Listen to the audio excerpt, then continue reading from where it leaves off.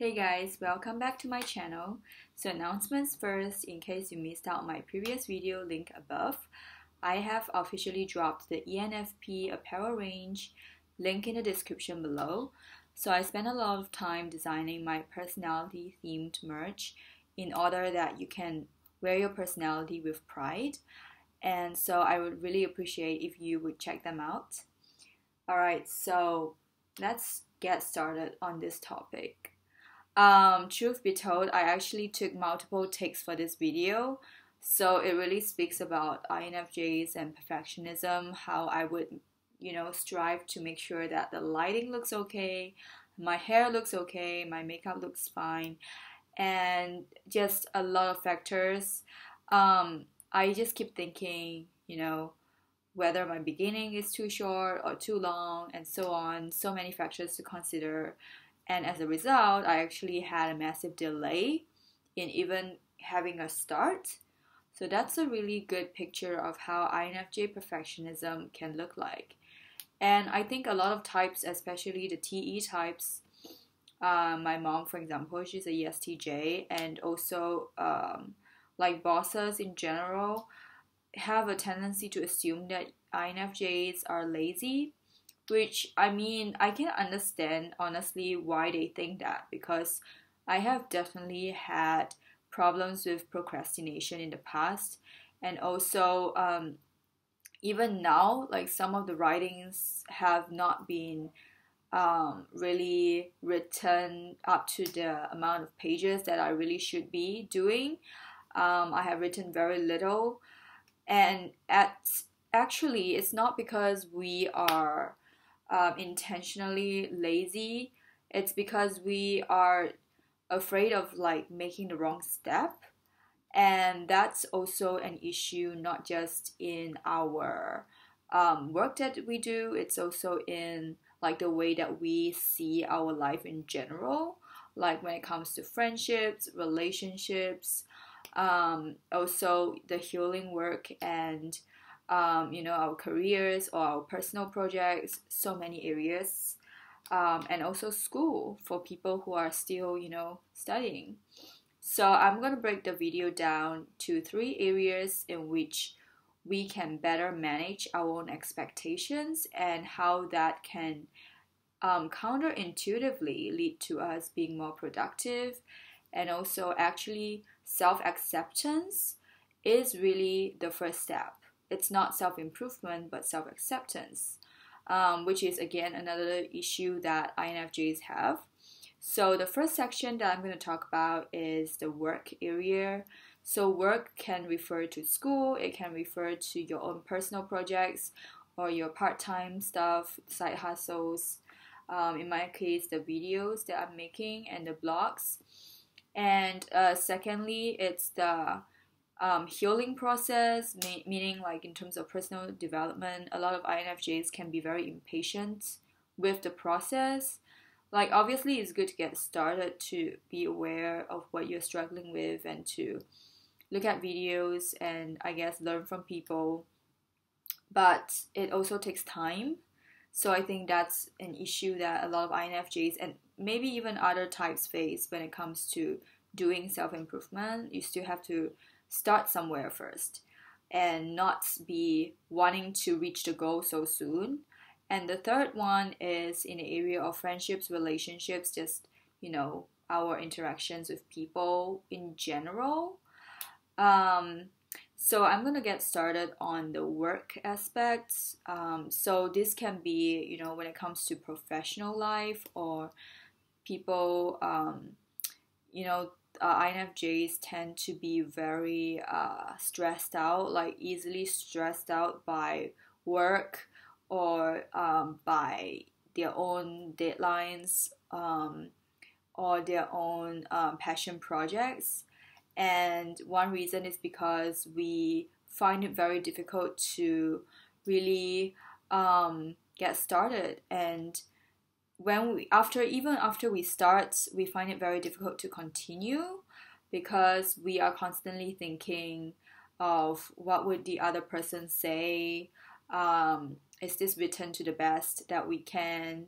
And sometimes we almost can be like an escapist like we want to escape from this constant uh, worry that we have not done the best work and that can actually lead to the opposite um, effect ironically that we actually don't end up producing the best that we can because we delay the work um, till the last minute and then when we actually do it the quality is like lower than ever because we are so scared that we will be criticized um, sometimes we are scared that we would uh, misunderstand the other person which in my case like it's definitely speaks to you know learning to communicate our needs and our own questions more clearly before even beginning.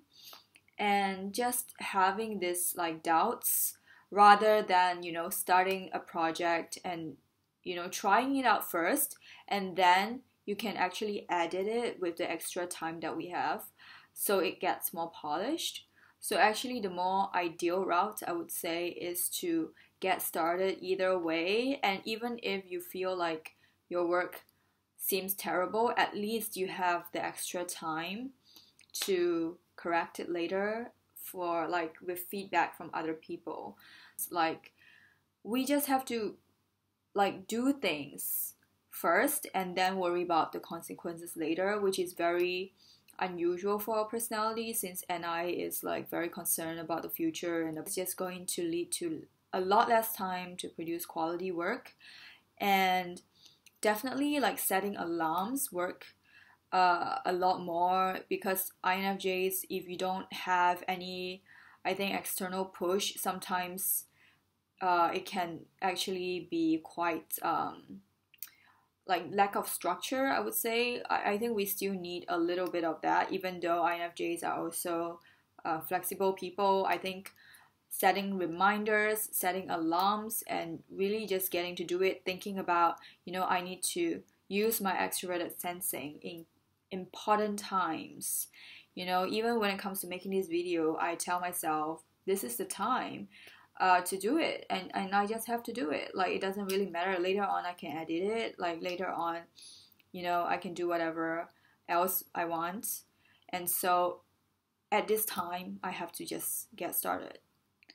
And um, also, when it comes to you know having especially like your own passion projects do not expect that you can immediately hit the targets that you want so for me i definitely have the issue of being impatient so i realized that with my own channel for example i have only been doing it um, like from this year onwards i started on 21st of february I mean, that's not like the actual start date. It was just the day that I decided to put in more effort into my channel. And obviously, I, it takes time for me to like film and edit and so on. So I actually wasn't very consistent in my channel in the past year because I had full time uh, jobs. Um, I guess um, expect more work from me. So I kind of set this aside. And so this year I brought it back which I guess it's actually a good thing since you know coronavirus can't really go out anyway. So um, I brought it back this year, and I was so impatient. Like from the start, you know, I would look at the subscribers counts every day and be like, you know, why has it not reached the mark that I wanted to reach?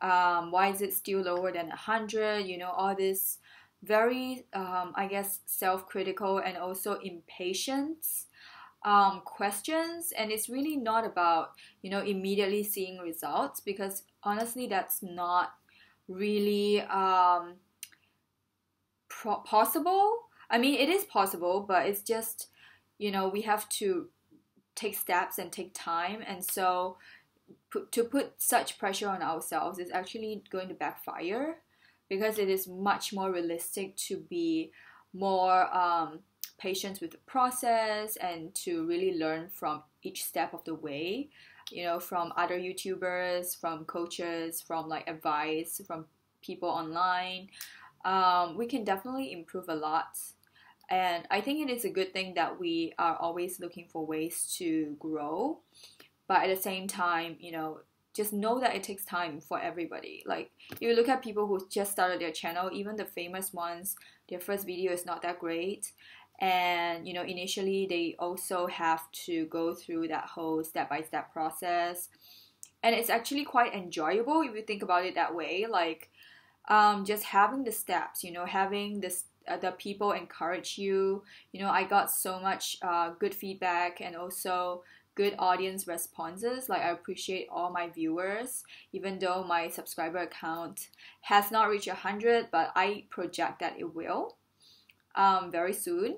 And so it really is encouraging to me when I think about the small steps and how, you know, it is actually a good thing if you move slowly because if you suddenly move up, that it could be very overwhelming because of the amount of people and comments. Um, I don't think it is something that uh, would be easy to deal with because um, it's like you need a foundation first to understand what's going on and to you know increment incrementally improve and then when you get to you know a certain point when you are very confident when you know what you're doing, it would I think it would just automatically grow by leaps and bounds, you know. So the beginner steps is always going to take time, and that's okay. Um, like we have to kind of re- achieve a balance. I think like we have to have some level of responsibility for our projects um, by you know constantly seeking ways to improve it, but at the same time, we have to know that it is not going to be overnight success. Um, so that's very important to notice um, so that we can actually start to be more patient. And um, for the second thing that I want to talk about, it is um, regarding our healing work so I think in the last video I talked a lot about self-improvement and how it's important to, you know, know ourselves and to know our own flaws. Um, but at the same time, I think it can be taken the wrong way by different people. Like some people might actually go to the other extreme and start being really self-critical. And I know INFJs can be very impatient with our own development. It's like, oh, I had this issue last year, like why have not resolved? Um, why has it not been resolved? And um, failing to notice the more human aspect that you know nobody's life is perfect. A lot of people that I thought had their lives together do not have their lives together. And this is not saying like okay, so no one um, is at a good place. Like obviously there are people who are at a relatively like healthier place, you know, more I guess they have a direction in life and whatever. But what I'm trying to say is honestly we are still working on on a lot of things in our lives and that's normal. Like it's not normal to have a life that has no challenges. So I think just looking at it from like a more understanding perspective when it comes to ourselves and knowing that you know okay maybe you have codependency issues for many years and you're still working on it but that's okay because things take time and you know there are small improvements along the way and it's fine to even relapse sometimes because i think it's normal for people to have um, slip up you know and i've seen like a lot of people whom I thought were so happy all the time have like really bad breakdowns. So honestly, it's not that perfect for anyone. Like it's not possible because we are human beings. We are not like already um uh, I don't know, some kind of perfect beings. We are obviously still um like flawed people who are in this together. I know it sounds very cliche, but it's true. Like I used to think that extroverts have it easier, um, which I guess maybe some of them do have it easier, but I have also met extroverts who are actually having a very bad like emotional breakdown because they rely too much on the external like world for support because extroverts generally get a lot of their energy from people. And so especially in this like time of the virus um, i realized that you know a lot of them actually have their own challenges to face because when there are not enough people to give them the emotional support it can be very uh, deeply unsettling for them. And so really it's like we all have our own unique um, struggles and it's okay to take time. It's okay to you know want to improve but at the same time know that you're not going to become perfect anytime soon and that's okay like imperfection is great as well. We don't have to have the perfect temper. We don't have to be like, oh, I never get angry or I never am sad. Like, that's not natural, you know, that's not like an organic. Um, so, just taking notes that, you know, while we do value uh, communication and, you know, working on things that we can improve on, it's also important to trust the process and to enjoy the process. Um, as difficult as it sounds, it's actually more beneficial for us as a whole to be okay with the process and to remind ourselves that everyone else is also going through something most of the time. It's just that people don't show it to strangers. Um, and also, um, the third point is on our place in life, and that is, I guess, connected to the rest of the points, but it is um, related to you know our relationships um, as well as just our life direction. I think definitely a lot of INFJs as well as people in general just have this problem of thinking you know we should achieve something by the age of this and then when we don't reach that goal, we are like, oh my gosh, what happened to my childhood dreams? You know, why have I not been become like this famous filmmaker or, you know, this banker or lawyer, you know, or writer, whatever you are, you know, pining after, I guess. Um, by this age, like, why are my friends doing better? Uh, not really, because honestly, again, we don't really know our own like unique challenges. A lot of friends may not have it that perfectly together either, because I do know that a lot of friends of mine, um, even though they may appear successful, they actually have uh, uncertainty over like, is this the career that I want? Because there is like a dentist friend of mine who realized that she actually doesn't really like looking at teeth that much. And that's a problem because if you are going to be a dentist for the rest of your life, um, you pretty much have to look at, at them every day. So she realized that she really does not like um, extracting teeth. So that can be a very huge issue. Um, so again, you know, career success is also not something that is so cut and dry. And just because you have not achieved like the peak of your success or you know what you want um, like a very specific goal doesn't mean that you will not ever get it. Like we are all still alive and going. So um, just be grateful that we still have time and take it as a form of motivation for us to do better and to just do more. Um, obviously, not saying that we have to aim like by tomorrow we get what we want, but reminding ourselves that you know we cannot really project the future in like very certain terms. We have to also learn to let go.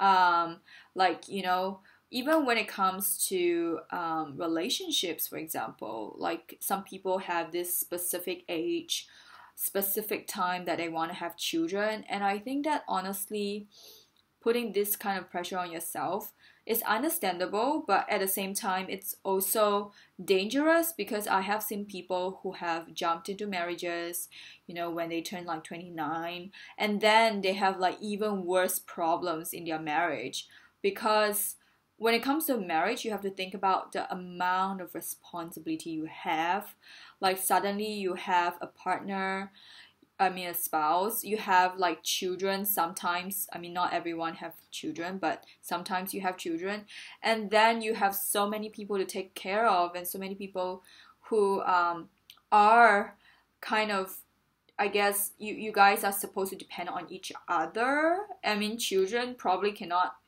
be independent, so there's just a lot more to actually consider. So if you are going to jump into something or if you are going to, you know, feel stressed because of a certain age problem, then once you get into it, it's going to be way more taxing and way more um, draining. And so it's really about trusting your own timeline. Um, as challenging as it sounds, you don't actually need to have a perfect relationship or friendship by a certain age. Like, yes, there, there are ideal situations where you can actually do a step by step, I guess, um, progress towards. So, you know, if you want to have more friends, maybe attend more events on meetup.com. Uh, also, if you just want to meet people, like go for more events so that you can meet people, but really don't give yourself too much pressure to um, have like a certain goal, like, oh, I have to have a friend from this event, or I have to meet someone from this uh, social interaction. So, really, the best thing to do is to do stuff, but at the same time, remind yourself that um, you don't actually need to have perfection in like people. I mean, in the way you relate to people, especially at this age. I mean, I'm in my 20s. I, I don't know about you, but honestly, even if you're in your 50s, like a lot of people in your 50s also have midlife crisis. So you are definitely not alone if you feel like, you know, why is my relationship not going the way I want or why are my friends like not the amounts that I want. I used to think like, oh, I actually envision this girl squad, you know, perfect number or you know a certain image of um, friends hanging out and it doesn't really always happen especially when it comes to times where be- people are stressed out about the virus people are stressed out about jobs and so on. Like obviously not everyone is going to have time to hang out and that's okay. Like you don't need to you know always have this perfect uh, girl squad pictures or perfect like Instagram worthy hangouts. I mean, honestly, a lot of these are staged anyway. Like a lot of people are busy and that's okay. Like you don't have to always meet up and always have um like great conversations. Sometimes people can be in a more stressed out or busy time of their lives and I think just accepting that this is a part of life, you know, um, like the whole such is life um, quote, I don't know, popular phrase.